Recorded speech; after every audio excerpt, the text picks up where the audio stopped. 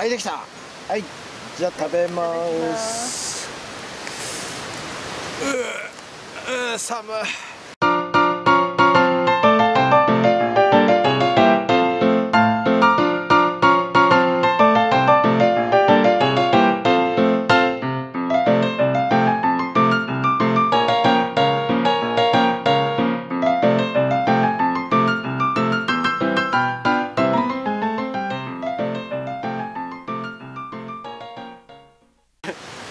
えーとまずですね、えーとこちらの長いやつね、えーこれが大体まあ50センチぐらいあるんですけど、えーこれがですね lightweight ultra lightweight table とか。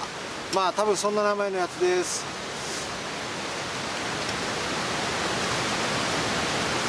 えー持った感じはですねまあ大体 500g600 まあそんなないかな。多分500前後だと思います、えー先日ちょっと河原でですねホットサンドを作った時にもこちらの方ですね使ってるんですが、まあ、非常に軽いです、まあ、こんな感じでですね。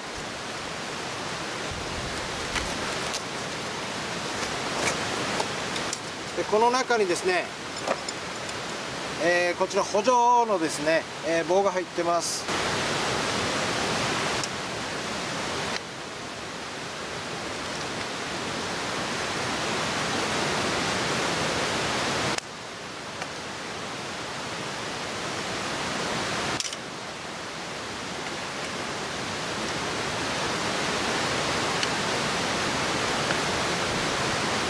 こんな風に差し込みます。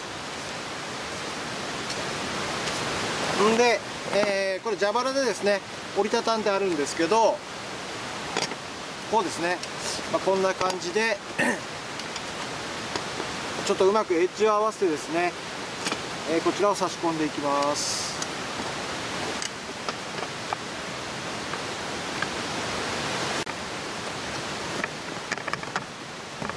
こんな感じですね、えー非常に丈夫です。まあ丈夫って言ってもですね多分まあ10キロぐらいしか耐えられないと思いますけどまあこんだけ大きいテーブルでですね、えー非常に軽いです。大体僕の手がですねこの幅が2 0センチなんで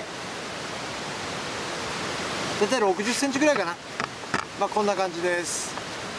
これとあとウルトラライトチェアですね。これはですね去年もえー去年の最初の動画にですね登場したやつですけどこれも多分ね 200g300 前後だと思います。まあこれも開けるだけ。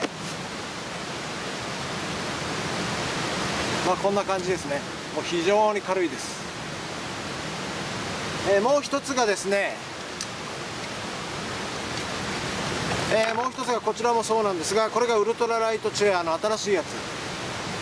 これをパカッと開けますと、ちょっとお尻のちっちゃい人向きなんですが、えー こんな感じでですね。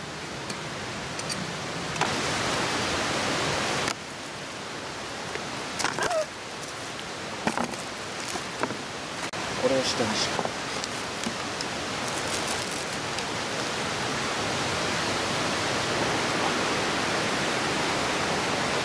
なんかねこうやってお湯沸くの待ってたら、まあ、だいぶ雪がですね、えーちらほらしてきましたね。よし沸いた。お願いします。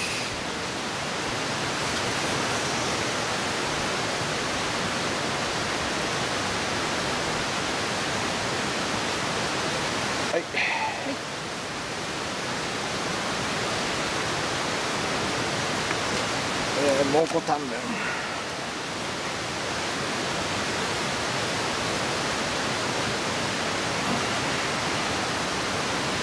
れ3分かい？うん？3分かい？さあできた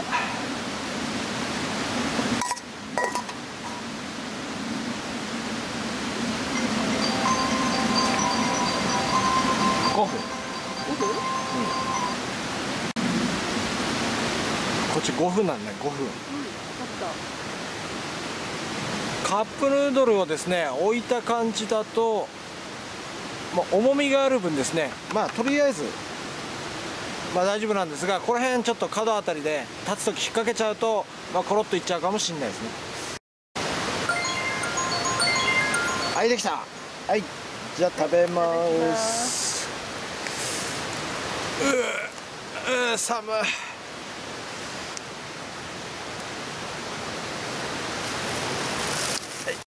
ごちそうさまはい完食。えーこのテーブルと椅子。えー今鴨山さんが座ってますけどちょうど高さいいですね。あの疲れない高さです。またあの持ち歩きもですね、えーこれ3つ合わせて大体1キロ超えるぐらいだと思うんですが1.23キロかな？1.5キロぐらいかな？まあ要はあんまり気にならない重さなんでこれは非常におすすめです。ただですねさっきも言ったようにですねまあ、ちょっとこのキャンバスの部分と骨組みの部分でこう段差がありますんでちょっとあの置くものによってはですねあのくるっとこうひっくり返る可能性もあるんでそれだけは気をつけていただきたいと思います。はい、えーそれではですねドッペルギャンガーのテーブルチェアのご紹介でございました。ありがとうございました。